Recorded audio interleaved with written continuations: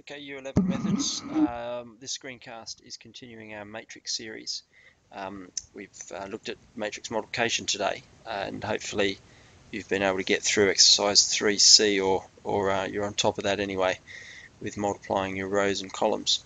Um, we're going to look now at um, firstly the identity matrix and we're going to lead into the inverse uh, matrix and um, its determinant, uh, the determinant of a matrix. Okay, so start with the, starting with the identity matrix.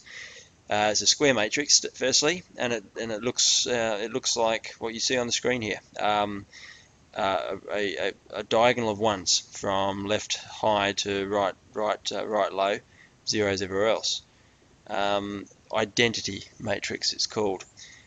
It has uh, the property that it um, it will, when multiplied by another matrix, uh, it's like multiplying by one. It's like taking a, uh, it's it's the one of the of the matrix world. Just like the zero matrix is full of zeros, this is the one matrix. Uh, so you can multiply any matrix by the identity matrix, and it will remain uh, the same value. So we'll have a look at an example of that. Um, so if we just take a very simple one, two, three, four matrix, obviously it needs to be square. And multiply that by uh, 1, 0, 0, 1. And um, I'll just go back to that comment I made there in a sec. It has to be square because perhaps it doesn't. Um, we're going to multiply, well, if I'm going to multiply by a 2 by 2 identity, um, then I have to be starting with a 2 by 2 in order for it to be unchanged. Uh, right, so let's see what results here. We take 1 by 1 um, and add 2 times 0, so that's that's 1. In the next installment, we're going to take 1, 2, and, and multiply across by 0, 1. That's uh, 1 times 0 plus 2 times 1. Now we're going to go to the second row. 3 times 1 is 3 plus 0. Fourth, the last row, the bottom row in the right column, 3 times 0 plus 4 times 1. So you can see there no change, 1, 2, 3, 4. Um, multiplying by the identity matrix uh, left it as it started.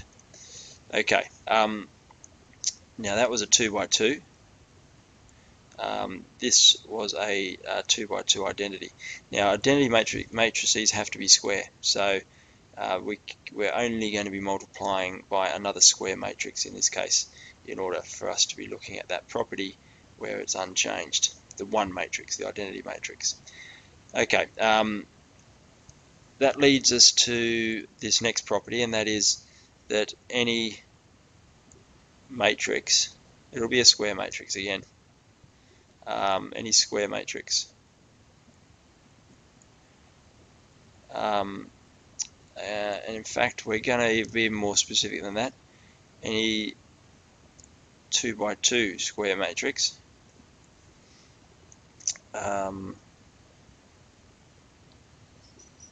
multiplied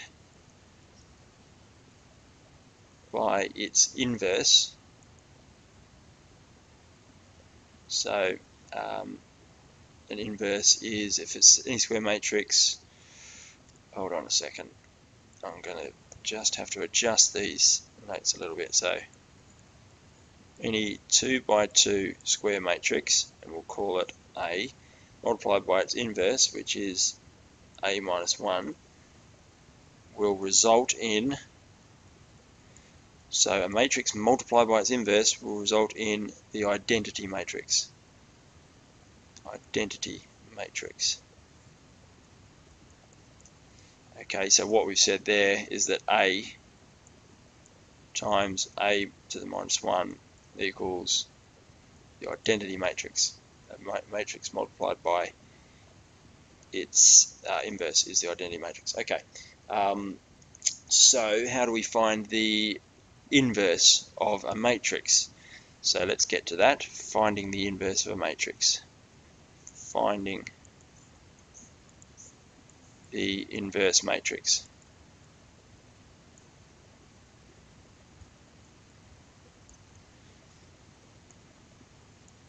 Alright, so um, this is how it's done. Firstly, we need to uh, we need to work out the determinant of a matrix. So the determinant, which is um, determinant of A, which is known as det A, is found by calculating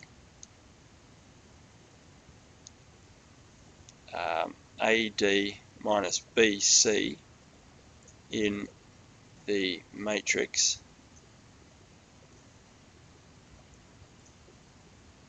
ABCD. So AD minus BC is the determinant of this matrix. So as an example, have a look at an example here. Uh, if the matrix A is, we're looking at 2 by 2s, 3, 5, 1, minus 2,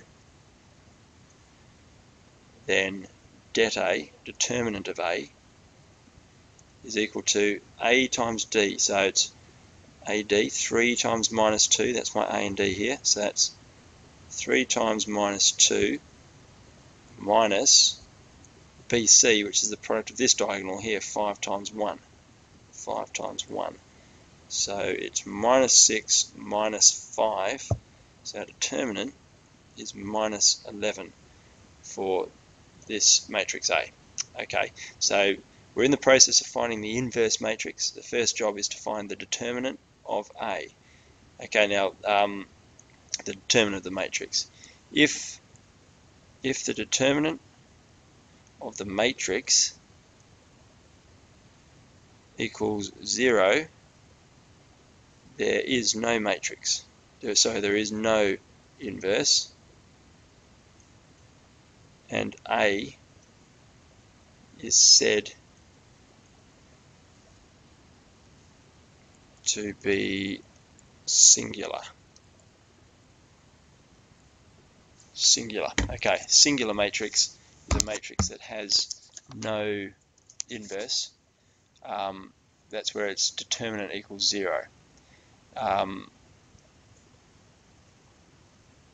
for a, a, square a matrix that is that has an inverse is a regular matrix. Um, I just almost put that in brackets, couldn't we? If if the determinant of A is not equal to zero, i.e an inverse exists,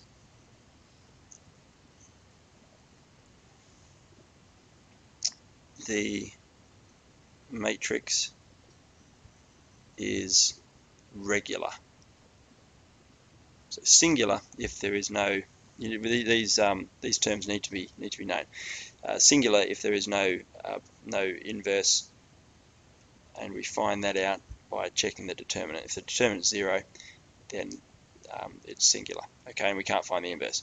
Okay, so we've got the determinant here. Let's go back to our matrix A, A 3, 5, 1 minus 2. So the inverse, go back to the, so the inverse